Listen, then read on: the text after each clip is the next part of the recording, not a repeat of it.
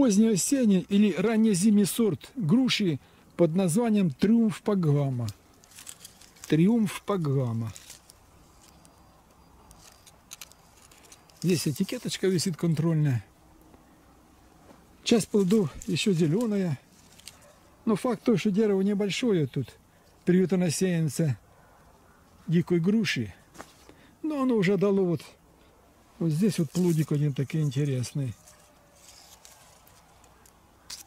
Вот здесь они. Жара в этом году очень большая жара, высокая субтемпература.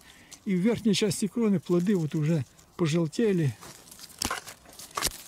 Сейчас можно снять и продегустировать.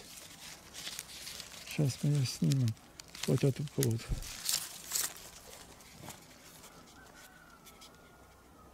Сейчас продегустируем плод и скажем его впечатление. Мягко такая довольно плотная, ну, довольно сочная или средней сочности. Но при потреблении она э, не, не грубая, а ближе к маслянистой. Такая среднемаслянистая или маслянистая при созревании полном будет.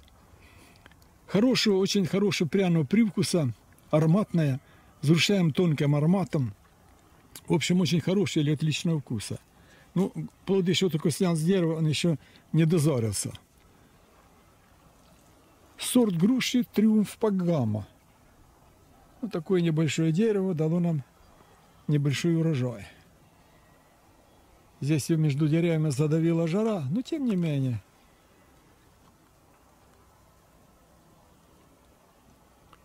Двенадцатого сентября 2024 года, Черкасская область.